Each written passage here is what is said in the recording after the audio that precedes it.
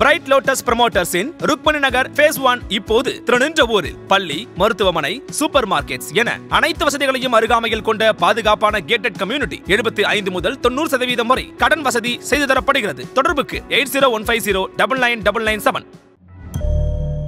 அந்த நிகழ்ச்சி லைவாக தொலைக்காட்சியில் ஒளிபரப்பு விடாமல் தடுத்தவர்கள் தான். அப்படிலாம் ஒன்றும் இல்லைங்கன்னு சொல்லலாம். அப்படிலாம் ஒன்றும் இல்லைன்னா எதுக்காக டிவியை போய் தடுக்கிறீங்க? ஆளும் தரப்பினரே பயப்படுகிற அளவுக்கு தான் லைவை காட்டாதீங்கன்னு சொல்லி மிரட்டுற அளவுக்கு தான் எதிர்பாராத கூட்டம் கூடியது. இது மாதிரியான ஒரு எழுச்சி கலந்த வரவேற்பை நான் எம்ஜிஆருக்கு மட்டும்தான் பார்த்துருக்குறேன். அடுத்து சசிகலா விஷயத்தெலாம் பார்க்குறேன்னு பலரையும் பல தரப்பினரையும் ஆச்சரியப்படுகிற அளவுக்கு ஒரு பிரம்மாண்டமான ஜெயலலிதா பயன்படுத்திய கார்னு ஊடகத்துக்கே தெரியற போது உளவுத்துறை கையில் வச்சிருக்கிற எடப்பாடி பழனிசாமி நல்லாவே தெரியும். அந்த காரை தான் சசிகலா பயன்படுத்தாரு யாருக்கு சொந்தங்கிறது வேற. அது ஒரு எக்ஸ்பயர்ல இருக்கு. அந்த காரை ரெண்டு பேரும் பயன்படுத்தாங்க அதை கேள்வி கேட்கிற உரிமைக்கு எவருக்கும் கிடையாது. இப்படி ஒன்னொன்னா உருவப்படுத்துனீங்கன்னா உங்க அம்மா பயன்படுத்திய அந்த காரை என்னன்னு உருவகப்படுத்துவீங்க. அது அந்த காரை அவங்க பயன்படுத்தக்கூடாதுன்னு அவங்க நினைக்கிறாங்க. நினைக்கிறதுக்கு என்ன உரிமை இருக்கு? சசிகலாவை நீங்க டார்ச்சர் பண்றதா நினைச்சு அவரை அவமானப்படுத்துவதா நினைச்சு நீங்கள் செய்யற அத்தனை காரியமும் ஜெயலலிதாவை அவமானப்படுத்துற காரியம்னு சொல்லுவேன் ஊழல்வாதி சசிகலா அதை சொல்ற தகுதி இங்க யாருக்கும் கிடையாது.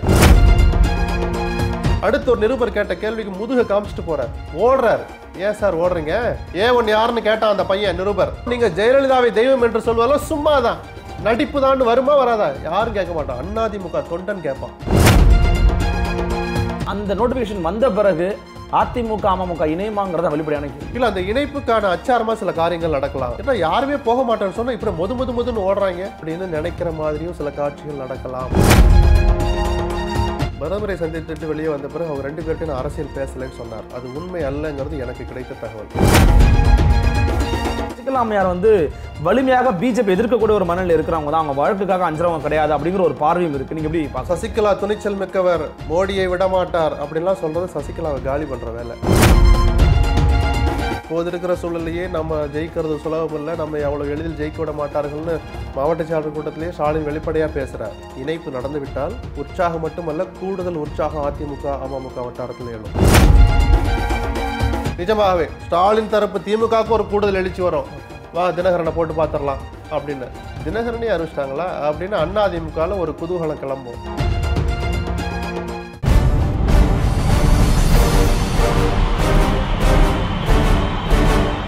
தமிழின் நம்பர் ஒன் அரசியல் யூடியூப் சேனலான ஆதன் தமிழ் நேயர்களுக்கு அன்பு வணக்கங்கள். இன்று நம்முடைய ஆதன் தமிழின் குடிப்பறக்குது நிகழ்ச்சியில் இருந்திருக்கக்கூடிய சிறப்பு விருந்தினர் மூத்த ஊடகவியலாளர் மதிப்பிற்குரிய திரு எஸ்பி லட்சுமணன் சார் அவர்கள். வணக்கம் சார். வணக்கம். எப்படி இருக்கீங்க? நல்லா இருக்கேன். அனைவரும் எதிர்பார்த்தபடி அம்மையார் சசிகலா அவர்கள் சென்னைக்கு இருபத்தி மூன்று நேர பயணத்தை மேற்கொண்டு வந்தடைந்தார். ஒரு அன்எக்ஸ்பெக்டட் க்ரௌட் அப்படின்னு தமிழகத்தினுடைய மூத்த பத்திரிகைகள் அனைத்துமே வந்து எழுதினாங்க. இந்த க்ரௌடை வந்து நீங்கள் எப்படி பார்க்குறீங்க இது அவர் ரிலீஸ் ஆகி சென்னைக்கு வரும்போது இவ்வளவு கூட்டம் கூடுவாங்க அப்படின்னு நாங்கள் எக்ஸ்பெக்ட் பண்ணலை அப்படின்னு பல பேர் சொல்லியிருந்தாங்க. நீங்கள் எக்ஸ்பெக்ட் பண்ணீங்களா ஃபர்ஸ்ட் ஆஃப் ஆல் நிஜமாக இவ்வளவு நான் எதிர்பார்க்கல நம்பர் ஒன் நிச்சயமாக அவருக்குன்னு ஒரு எழுச்சி இருக்கும் ஆதரவு இருக்குன்னு பார்த்தேன். ஏன்னா இது அழைத்து வரப்பட்டவர்களை தாண்டி அந்தந்த பகுதியில் இருந்த பொதுமக்களும் பல பேர் கலந்துக்கிட்டதை நடுநிலையாளர்கள் ஒத்துக்குவாங்க. சில பேர் அப்படிலாம் இல்லைங்க பொய் சொல்கிறாங்கன்னா அப்படி சொல்கிறவங்க யாருன்னா தங்களுடைய ஆட்சி அதிகாரத்தை பயன்படுத்தி அந்த நிகழ்ச்சி லைவாக தொலைக்காட்சியில் ஒளிபரப்பு விடாமல் தடுத்தவர்கள் தான். அப்படிலாம் ஒன்றும் இல்லைங்கன்னு சொல்லலாம் அப்படிலாம் ஒன்றும் இல்லைன்னா எதுக்காக டிவியை போய் தடுக்கிறீங்க? ஒரு உதாரணம் சொல்லவா?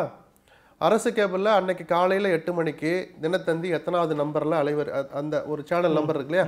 அரசு கேபிளில் தந்தி டிவி எத்தனை எத்தனாவது நம்பரில் வந்துச்சு. அவர் லைவை காமிக்க ஆரம்பித்த பிறகு எத்தனாவது சேனலை தூக்கி போட்டாங்க. ரெக்கார்ட் எடுத்து பார்க்க சொல்லுங்கள் ஸோ இப்படியெல்லாம் அவர்களே ஆளும் தரப்பினரே பயப்படுகிற அளவுக்கு தான் லைவை காட்டாதீங்கன்னு சொல்லி மிரட்டுற அளவுக்கு தான் எதிர்பாராத கூட்டம் கூடியது. இன்னைக்கு வரைக்கும் அதிமுக அமமுக இணைப்புக்கு பிஜேபி முயற்சிக்குதுன்னு நான் சொல்லிக்கிட்டு இருக்கிறேன். எனக்கு கிடைக்கிற தகவல்களை வச்சு நான் சொல்கிறேன் இணைப்பு இன்னும் நடந்தேறல அதிமுக பிஜேபி கூட்டணி தொடரும் தான் ரெண்டு தரப்பும் சொல்லிட்டு இருக்காங்க அமமுக பத்தி பேச்சே இல்லை சசிகலா பத்தி பிஜேபி கவலைப்படல அந்த பிஜேபியுடைய மூத்த தலைவர் பொன் ராதாகிருஷ்ணன் இன்னைக்கு காலையில் என்ன சொல்லியிருக்கிறார்? இது மாதிரியான ஒரு எழுச்சி கலந்த வரவேற்பை நான் எம்ஜிஆருக்கு மட்டும்தான் பார்த்துருக்கிறேன். அடுத்து சசிகலா விஷயத்தெல்லாம் பார்க்குறேன்னு பலரையும் பல தரப்பினரையும் ஆச்சரியப்படுகிற அளவுக்கு ஒரு பிரம்மாண்டமான வரவேற்பு தான். அந்த வரவேற்பு எது அது எந்த சூழலுக்கு இடையில அப்படின்னு ஒன்று இருக்கு. மருத்துவமனையில் சிகிச்சை பெற்று அது டிஸ்சார்ஜ் ஆகி தான் தங்கியிருக்கிற இடத்துக்கு போகிற போது தான் பயன்படுத்துகிற காரில் அதிமுக கொடியை கட்டியது அந்த நிமிடத்திலிருந்து ஒரு வார்த்தை கூட பேசாமல் தாக்கத்தை ஜெர்க்க ஏற்படுத்தினவர் தான் சசிகலா. அதிமுக தரப்புலையும் சரி தமிழ்நாட்டு அரசியல் களத்துலையும் சரி. அப்படி வரப்போகிறவர் வந்தா நேரா அங்க எல்லாருடைய நினைவிடத்திற்கு செல்வார் என்பதை எது யூகித்து அந்த நினைவிடத்தை பராமரிப்புன்னு பூட்டுறாங்க. அவசர அவசரமா போய் சிலத்தை திறந்து அதையும் பூட்டுற சூழலை ஏற்படுத்துறாங்க. கொடியை கட்டவே விடக்கூடாதுன்னு அரசியல் அமைப்பு சட்டப்படி அமைச்சர்கள் என்கிறவர்கள் உயர்ந்த இடத்துல இருக்கிறவங்க. அதிகாரிகள் கீழ்நிலை இருக்கிறவங்க. அந்த கீழ்நிலை அதிகாரியை போய் மூன்றாவது நான்காவது தரத்தில் இருக்கிற ஒரு டிஜிபியை போய் நான்கு அமைச்சர்கள் அஞ்சு அமைச்சர்கள் போய் பார்க்குறாங்க. எதுக்கு? கொடியை அவர் பயன்படுத்தக்கூடாதுன்னு. கொடி விஷயம் வந்து சிவில் விஷயம். அதனால தான் அமமுக கொடியில் எங்கள் கட்சி கொடி மாதிரியே இருக்குது கலரு. அதில் இருக்கிற ஜெயலலிதா படம் ஜெயலலிதா எங்களுக்கு சொந்தமானவர். தினகரன் அந்த கொடியை பயன்படுத்தக்கூடாதுன்னு இவர்களுக்கு எல்லா அதிகாரத்தையும் வழங்கிய தேர்தல் ஆணையத்திட்ட போய் ஓபிஎஸ் இபிஎஸ் கேட்டாங்க. மனு கொடுத்தாங்க. ஓகே. இதெல்லாம் இப்போ மறந்துருப்பாங்க சில பேர். நான் அதை ஃபாலோ பண்ணனால சொல்றேன். தேர்தல் ஆணையம் என்ன சொல்லுச்சு? கொடி விஷயத்தில் தலையிடுகிற உரிமை அதிகாரம் எங்களுக்கு கிடையாது. தேர்தல் தேர்தல் ஆணையத்துக்கு கிடையாது. அது யார் என்ன கொடி வச்சுக்கொண்டு என்ன படம் போடணும் இதெல்லாம் நாங்க தலையிட மாட்டோம். உங்களுக்கு ஏதாவது ஆட்சேபனை இருந்தால் நீங்கள் சிவில் நீதிமன்றத்தை தான் அணுகணும்னு சொன்ன பிறகு எடப்பாடியும் ஓபிஎஸும் சென்னை உயர்நீதிமன்றத்துல வந்து சிவில் சூட்டு தான் ஃபைல் பண்ணாங்க தினகரனுக்கு எதிராக அந்த வழக்கு நிலுவையில் இருக்கு. ஓகே. அப்போ கொடி விவகாரம்னா நீதிமன்றத்துக்கு தான் போகணும்னு நல்லா தெரிஞ்சிருந்தோம். தங்களுக்கு இருக்கிற அதிகாரத்தை பயன்படுத்தி சசிகலாவை எப்படியாவது தடுத்துறணும் அந்த பயணத்தையே கொலாப்ஸ் பண்ணிடணுங்கிற நோக்கத்தோட கார்ல இருந்து கொடியை கலெக்டரணும் எப்படியாவது பண்ணணும் காவல்துறை அதிகாரிகளுக்கு நிர்பந்தம் கொடுக்கப்பட்டது. அதிகாரத்தை பயன்படுத்தி. அவசர அவசரமா பிபி கிட்ட ஒப்பீனியன் வாங்குறாங்க. இந்த பிரிவுகளின்படி குற்றம். இதெல்லாம் சுத்த ஹம்பக்குன்னு எதிர்த்தரப்பு வக்கீல் சொல்லிட்டாங்க. அவர் ஒரு ஒப்பீனியன் கொடுத்தா லீகலா அவரும் கொடுக்குறாரு.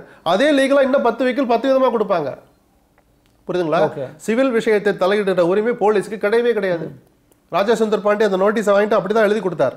இந்த நோட்டீஸ் எங்களை கட்டுப்படுத்தாது. With protest we receive the நோட்டீஸ்னு அப்படிதான் எழுதி கொடுத்து வாங்கினார். ஸோ அப்படி ஒரு நோட்டீஸ் கொடுத்து கொடிய கலெக்டருக்கு ஒரு முயற்சி நடத்திங்க. சசிகலாவுடைய காருக்கு பின்னால் அஞ்சு காருக்கு அப்புறம் எந்த கார் வர கூட நாங்கள் நறு நிறுத்துவோம்னு ரிட்டனில் கொடுக்குறாரு கிருஷ்ணகிரி டிஎஸ்பி எந்த தலைவருக்கு அப்படி கொடுத்தீங்க? கொரோனா காலம் சார் நான் கட்டுப்பாடு வைக்கணும்னா எல்லாருக்கும் வச்சிங்களா? அடுத்த நாள் ராணிப்பேட்டைக்கு போனார் முதலமைச்சர் கொடுத்தீங்களா? வெள்ளூர் டிஎஸ்பி கொடுத்தாரா? ரா- ராணிப்பேட்டை டிஎஸ்பி கொடுத்தாரா? சரி ஆளுங்கட்சி முதலமைச்சர் உங்களுக்கு அமைச்சர் அவர் துறை அமைச்சர். ஓகே. நேர் எதிரி ஸ்டாலினுக்காவது அந்த கட்டுப்பாட்டை விதிச்சிங்களா? விதிக்கல. அப்ப யாருக்குமே விதிக்காத அந்த கட்டுப்பாடுகளை சசிகலாவுக்கு விதித்தாவது அவருடைய பயணத்தை தடுக்கணும் அதை சீர்குலைக்கணும்னு முயற்சித்தது அதிமுக அரசு எடப்பாடியினுடைய அரசு.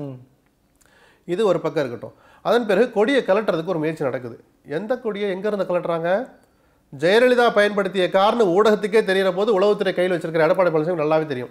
அந்த காரை தான் சசிகலா பயன்படுத்துறாரு. யாருக்கு சொந்தங்கிறது வேற. அது ஒரு எக்ஸ்பயர்ல இருக்கு. அந்த காரை ரெண்டு பேரும் பயன்படுத்துறாங்க அதை கேள்வி கேட்கிற உரிமைக்கு எவருக்கும் கிடையாது. அது ஜெயலலிதாவுக்கும் சசிகலாவுக்குமே உரிய விஷயம் அது. ஓகே. சம்பந்தப்பட்ட ஓனர் கேட்கட்டும் யாருடைய காரணம்? ஆக ஜெயலலிதா பயன்படுத்திய காரை சசிகலா அதுல ஏறி வரார். அந்த கார்ல கட்டி இருக்கிற அதிமுக கொடிய கலட்டுங்கன்னு உத்தரவு போடுற எடப்பாடி பழனிசாமி எங்க என்ன கொடுமை சார் இது? ஜெயலலிதாவுடைய காருங்க அது. அந்த கார்ல இருந்து அதிமுக கொடிய கலெக்டர் அதிகாரத்தை உங்களுக்கு யார் கொடுத்தா? இதுக்கு இந்த அரசு தான் இல்ல வைக்கப்படும். அத அவங்க பயன்படுத்துறாங்க. அவங்க அமர்ந்து வராங்க. அவங்க இப்ப கட்சியிலே இல்ல அப்படிங்கிறது அவரோட நிலைப்பாடு. அவங்க கட்சியிலேயே இல்ல ஜெயலலிதா உயிரோட இல்லைன்னு ஒரு ஒரு வார்த்தையை சொல்லலாம். அப்போ உயிரோடே இல்லாத ஜெயலலிதா எதுக்கு நிரந்தர பொதுச்செயலாளர்னு அறிவிக்கிறீங்க? சோ ஒரு இல்லுஷன் ஒரு மாயை அல்லது நம்புகிற ஒரு மாயை. நம்பகத்தன்மை அந்த நம்பிக்கையின் அடிப்படை தான் நீங்க நிரந்தர பொதுச்செயலாளர்னு அறி அவர் அறிவிக்கிறீங்க. அப்ப அவர் பயன்படுத்திய காரணம் நீங்க தொட்டு கும்பிடணுமா இல்லையா? நீங்க தானே சொன்னீங்க எங்களுக்கு போயஸ் கார்டன் கோயில்னு. அங்க இருக்கிற அம்மா எங்களுக்கு தெய்வம். போயஸ் கார்டன் எங்களுக்கு கோயில்னா அம்மா பயன்படுத்திய கார் எது?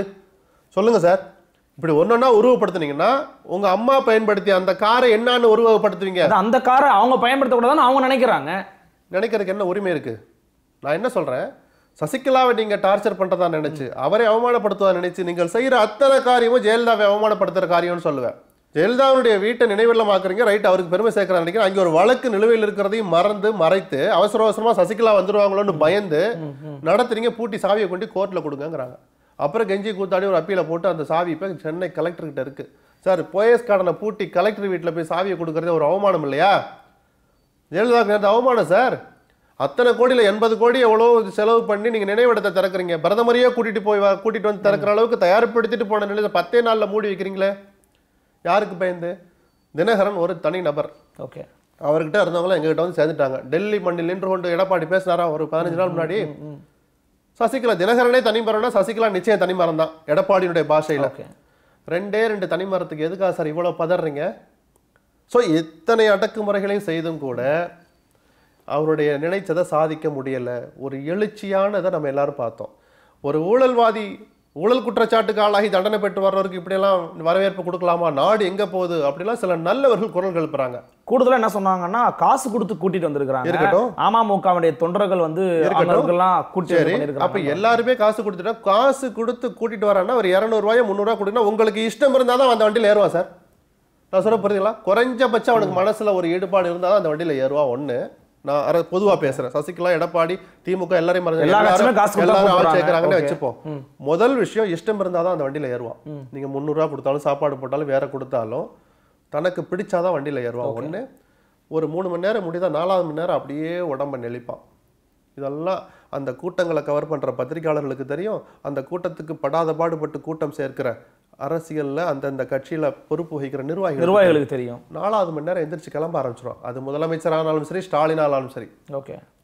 ஆனால் எதிர்க்கட்சியாக இப்போதும் இருக்கிற சசிகலாவுக்கு ஆகாத பிஜேபியினுடைய முக்கிய தலைவரே எம்ஜிஆருக்கு பிறகு ஒரு எழுச்சியை பார்த்து சொல்ற நாள் முழுக்க நின்று அந்த அம்மாவை வரவேற்கிறாங்கன்னா மனசுல அந்த உணர்வு இல்லாமல் ஒருத்தன் நிக்கவே மாட்டான். இதைத்தான் ரீட் பண்ணணும். அரசியலை பேசுறவங்க அதைத்தான் ரீட் பண்ணணும். சசிகலா விமர்சிக்கிறதுக்கு ஆயிரம் இருக்கலாம். நீங்க தனியா மேடை போட்டு பேசுங்க. நடந்த நிகழ்வை உண்மையை உண்மை என்று ஒப்புக்கொள்வதற்கு எவரும் வெக்கப்படக்கூடாது. வெக்கப்பட்டா அவங்கள பத்தி கவலைப்பட வேண்டிய அவசியம் இல்லை. ஆக அந்த எழுச்சி நிஜமானது. இப்படி எழுச்சி சொல்ல இவங்க இவ்வளோ டிலேவா டுவெண்ட்டி த்ரீ ஹவர்ஸ் டிராவல் பண்ணாங்களா? பண்ண முடியலையே. நீங்க அங்கங்க நிறுத்துறீங்களா வண்டியை? ஒரு ஒரு இடத்துலயும் பஞ்சாயத்து பண்றீங்கல்ல? இன்னொரு சொல்லட்டுமா? அதிகாலை மூன்று மணி மூன்றரை மணிக்கு பூந்தமல்லி கிட்ட வர்ற போதே தடுத்து நிறுத்துறாங்க. சென்னைக்குள்ள இத்தனை வாகனங்கள் நுழையக்கூடாது. வீடியோ ஆதாரம் இருக்கு. அஞ்சு வண்டி தான் பத்து வண்டி தான் உள்ள போகணும். சென்னைக்குள்ளே வரணும். மீதி எந்த வண்டியும் விடமாட்டோம் அப்படின்னு சொன்ன பிறகு வழக்கறிஞர்கள்லாம் அவருடைய வழக்கறிஞர்லாம் என்ன தெரியுமா சொன்னாங்க? இது வந்து சட்ட விரோதம் நாங்க நேரா த தலைவர் வீட்டுக்கு போறோம் எம்ஜிஆர் வீட்டுக்கு போறோம் போய் தூங்க போறோம். வீட்டுக்கு போய் ரெஸ்ட் எடுக்க போறோம். எல்லாரும் அவங்க வீட்டுக்கு போக போறோம். வந்தாச்சு பூந்தமல்லி வந்தாச்சு. ஆனா மற்ற எந்த கிருஷ்ணகிரியில தொட தொடங்கின அந்த ஆட்டத்தை தோல்விகரமா முடிஞ்ச பிறகு வேற எந்த இடத்தையும் நெருங்க முடியாத அளவுக்கு தொண்டர்கள் கூட்டம் அலையலையா ஆயிரம் ஆயிரமா நின்ன போது போலீஸ் எந்த காரியத்தையும் செய்ய முடியல. அவர் நினைத்த மாதிரி. மேலிடம் சொன்ன மாதிரி. சோ சென்னையிலேயே அதை நிறைவேற்றி காமிச்சிடணும்னு சொல்லி அந்த கூட்டத்தை சென்னைக்குள்ள விடக்கூடாதுன்னு சொல்லி ஒரு தகராறு நடந்த போது அவர் சொன்ன பதில் என்ன தெரியுமா? பத்து வண்டி மட்டும் இல்லை எங்களை பத்து வண்டி தான் நீங்க உள்ள விடுவீங்கன்னு சொன்னா நாங்க நேரா வீட்டுக்கு போக மாட்டோம். நேரா ஜெயலலிதா சமாதிக்கு போவோம்னு சொன்ன பிறகுதான் அங்க போயிடக்கூடாதுன்னு பயந்து அவசர அவசரம் பேரிகார்டை கூட திறந்து விட்டாங்க. வீடியோ ஆதாரம் இருக்கு. விடியற் காலை மணி அப்போ அந்த நிமிடம் வரை சென்னைக்கு வந்து சேருகிற வரைக்கும் போலீஸை வச்சு அங்கங்க தடுத்துக்கிட்டு தான் இருந்தாங்க. ஊர்ந்து வர முடியல சார். நீங்க ஒரு ஒரு ஆயிரக்கணக்கான பேர் நிக்கிற போது அங்க நின்னு ஒரு பத்து நிமிஷமா நின்னு அந்த வரவேற்பை வாங்க வேண்டிய கட்டாயம் சசிகலாவுக்கு இருக்கு. நாள் முழுக்க நிக்கிறான் அவன். மதிக்கணுமா கூடாதா? சசிகலாவுக்கு தானே நிக்கிறாங்க. அப்புறம் அதை தாண்டி தானே வரணும்? சர்ன்னு கார் எடுத்துட்டு போயிட முடியுமா? சொல்லுங்க. மெதுவா வந்துகிட்டு இருந்தா போலீஸ் விரட்ட மாட்டானா? அதுவும் குற்றம் தானே இந்நேரம் வெளியே சொல்லியிருப்பாங்க. வேண்டுமென்றே சசிகலா மெதுவா வந்தார். எங்கேயாவது ஒரு குரல் கேக்குதா? அதிர்ச்சியிலேருந்தே என்ன மீளாமையில் இருக்கிறாங்க. ஸோ இந்த நிகழ்வின் மூலமாக ரோட் ஷோன்னு சொல்லுங்க என்ன வேணாலும் சொல்லுங்க. அந்த வரவேற்பு நிகழ்ச்சியின் மூலமாக தமிழ்நாட்டு அரசியலில் தான் ஒரு தவிர்க்க முடியாத சக்தி என்பதை சசிகலா நிரூபித்திருக்கிறார். பேசும்போது சொல்லியிருந்தாங்க நான் தீவிரமான அரசியல ஈடுபட போறேன். நான் மக்களுக்கு தான் அடிமையா இருப்பேன். வேற யாருக்கும் அடிமையா இருக்க மாட்டேங்கிற வார்த்தையெல்லாம் பயன்படுத்தியிருந்தாங்க. இதனுடைய உட்பொருள் என்ன?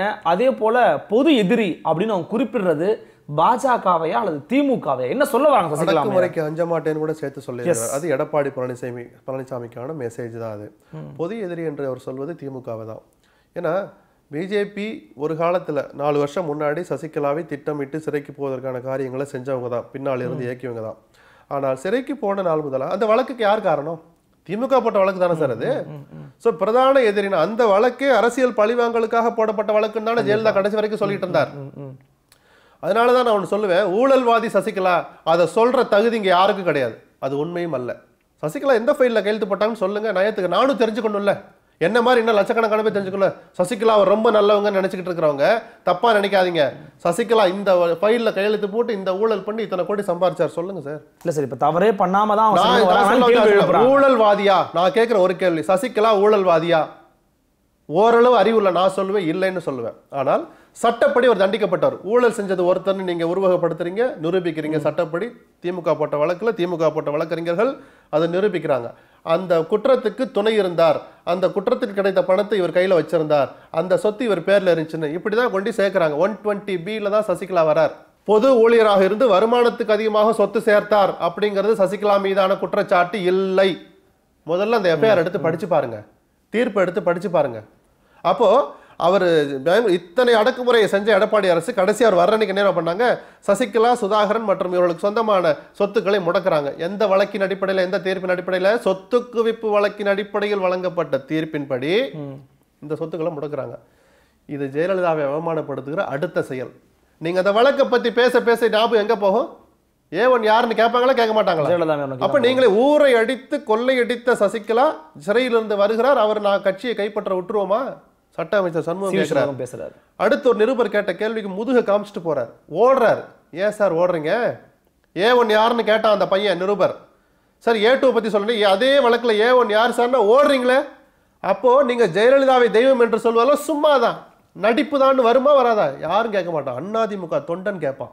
புரியுதுங்களா? இது ஒட்டுமொத்தமாக எடப்பாடி பழனிசாமி அரசு கடந்த இரண்டு மாதங்களாக சசிகலாவை நினைத்து பயந்து பதட்டப்பட்டு செய்கிற அத்தனை காரியங்களும் ஜெயலலிதாவை அவமானப்படுத்துவதாகவே அமைந்திருக்கிறது. இதை அதிமுக தொண்டன் ஒருபோதும் மன்னிக்க மாட்டான். ஒரு பக்கம் வந்து சசிகலா அம்மையார் அண்ணி எண்ணி நாங்கள் வந்து அஞ்சலை நாங்கள் வேலைகளை பார்த்துக்கிட்டு இருக்கோம் அதிமுகவுடைய மூத்த அமைச்சர்கள் பேசுகிறாங்க இன்னொரு பக்கம் அவங்களுக்கு இவ்வளவு தடைகள் இவ்வளவு பல விதமான தடைகளை போட்டு தான் அவங்களை சென்னைக்கே வந்திருக்கிறாங்க அப்படின்னும் போது ரெண்டு விஷயங்கள் படுது. ஒன்று அதிமுக அமைச்சர்கள் நீங்களே சொல்லும்போது பத்திரிகா சந்திப்பில் பேசும்போதே பதற்ற நிலை தெரியுது. ஏங்க நீங்கள் பேசுங்க. இல்லை நீங்கள் பேசுங்க. நீங்கள் பேசுங்கன்னு சொல்லிட்டு இருக்கிறாங்க. எதுக்காக இந்த மாறுபட்ட நிலைகள் அதிமுக இருக்கிறாங்க? என்னதான் அவங்களோட மனநிலை? மாறுபட்ட நிலை இல்லை சார். அந்த ஜெயக்குமாரை நிதியமைச்சர் ஆக்குனது யார்? இதெல்லாம் நான் பல தடவை சொல்லிட்டேன்.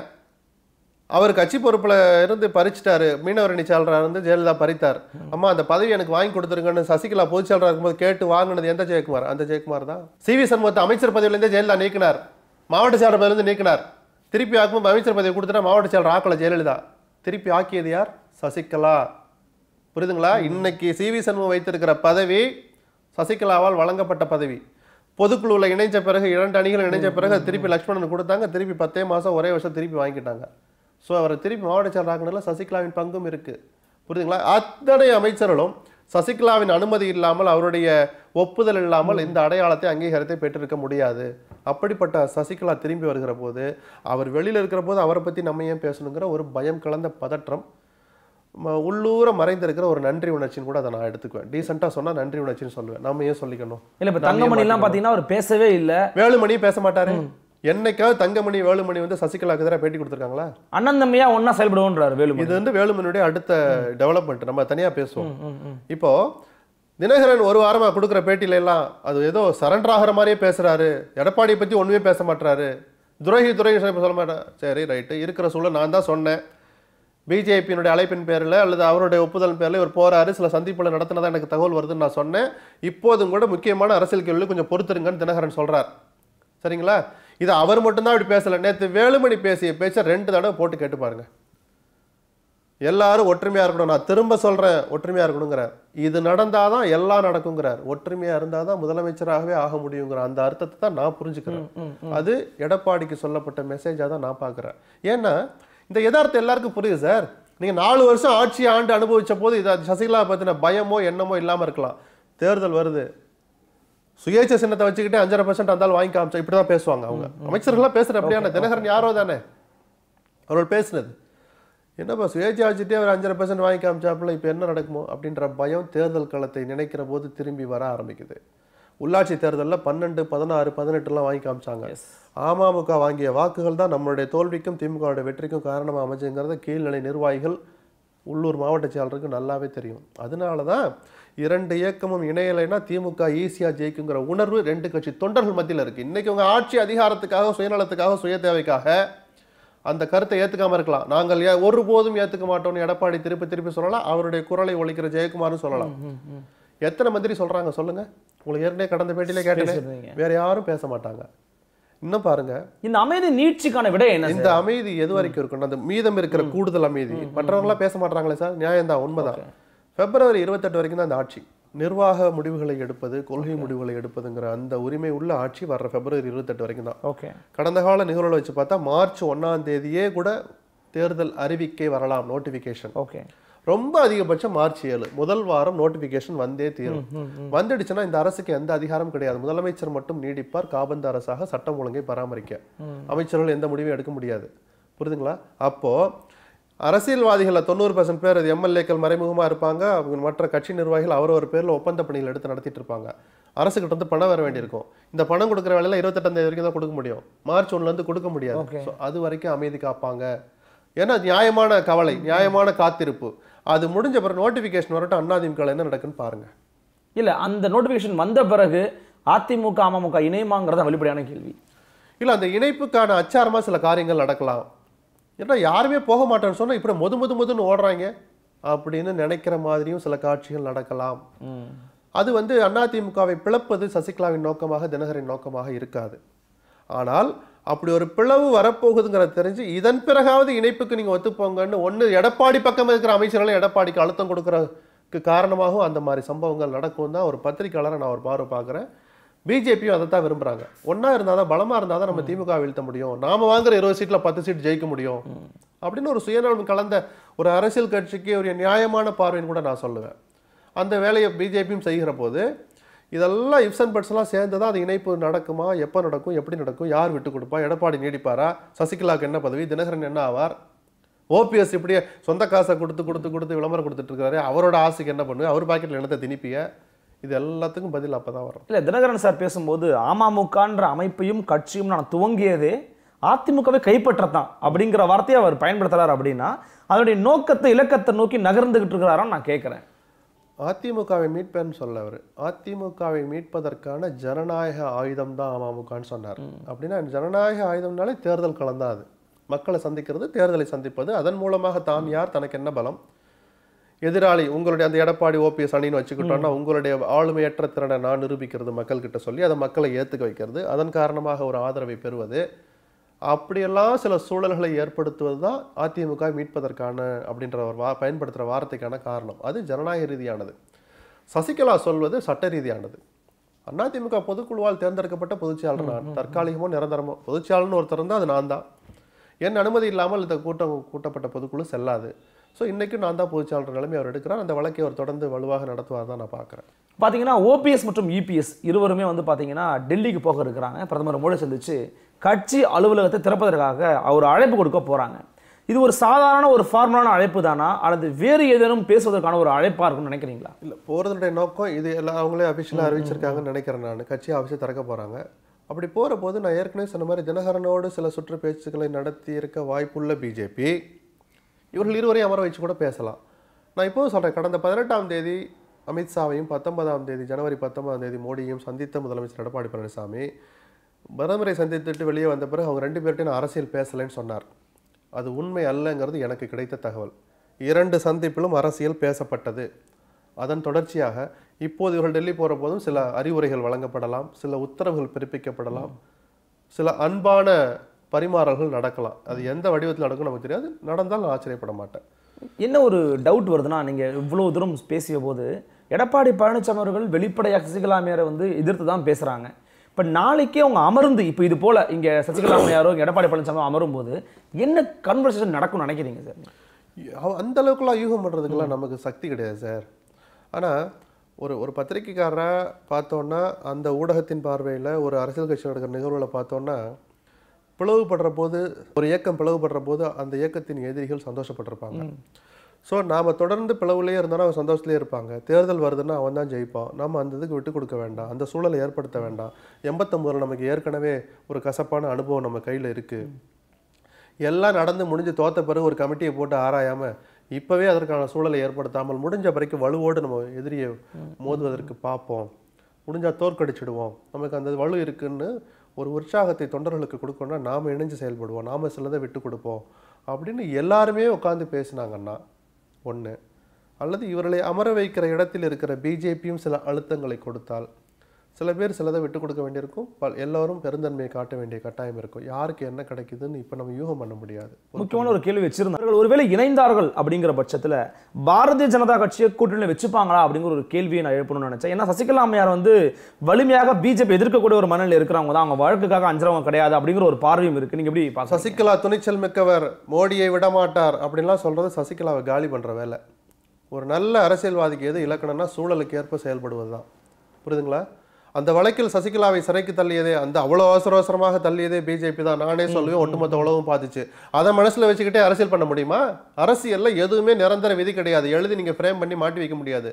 அழிச்சுக்கிட்டே தான் இருக்கணும். இன்னைக்கு ஒரு விதி இருக்கும் நாளைக்கு ஒரு விதி இருக்கும். அந்தந்த சூழலுக்கு தனக்கு எது நல்லது தான் தலைமை வகிக்கிற கட்சிக்கு எது நல்லது அந்த கட்சி என்கிற மாநிலத்துக்கு மாநில மக்களுக்கு எது நல்லது இப்படி பார்வை தான் ஒரு தலைவன் பார்க்கணும். ஸோ அந்த சூழல்ல பிஜேபி அவருக்கு எதிராக இருந்தது. அதே பிஜேபி மீதான பார்வையை மாத்திக்கிச்சே. குக்கர் சின்னத்துக்கு அந்த கதர் கதற விட்டாங்களே தினகரனை. இன்னைக்கு தட்டுல வச்சு கையில கொடுத்தாங்களே. ஸோ சூழல் மாறுதா? எஸ் சசிகலா மட்டுமா மாத்திக்கிறாங்க? பிஜேபியே தன் பார்வையை மாற்றிக்கொண்டது எம்ஜிஆருக்கு பிறகு சசிகலா விஷயத்துல அந்த எழுச்சியை பார்க்கிறேன் சொல்றது பொன் ராதாகிருஷ்ணன்.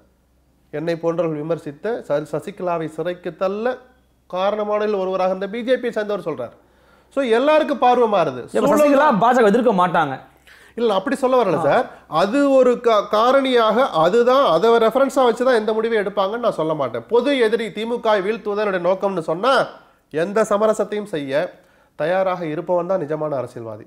ஒரு எதிரியை வீழ்த்தணும்னா அத்தனை ராஜதந்திரங்களை பயன்படுத்தணும். அது நீங்க சூழ்ச்சின்னு சொல்லலாம் கோழைத்தனம்னு சொல்லலாம் துணிச்சல்னு சொல்லலாம் வீரம் விவேகம் என்ன வேணாலும் சொல்லிக்கலாம்.